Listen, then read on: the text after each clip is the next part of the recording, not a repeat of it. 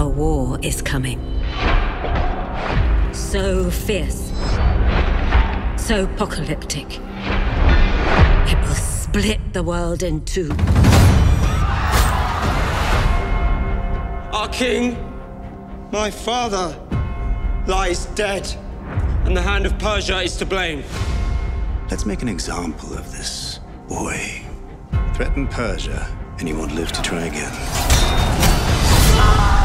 It is time you know your true identity, Alexander. You are the son of Zeus. Lead your men where Philip never could. Conquer Persia and beyond. It is your destiny.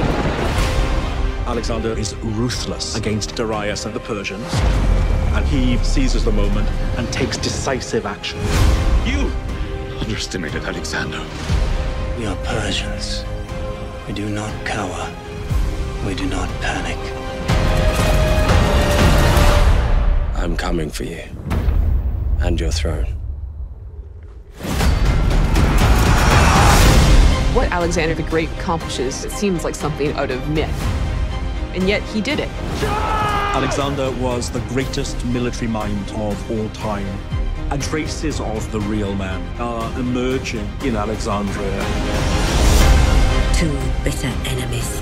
Darius needs to be purged. I will rip him apart with my own bare hands! Who will be victorious? Who will prevail?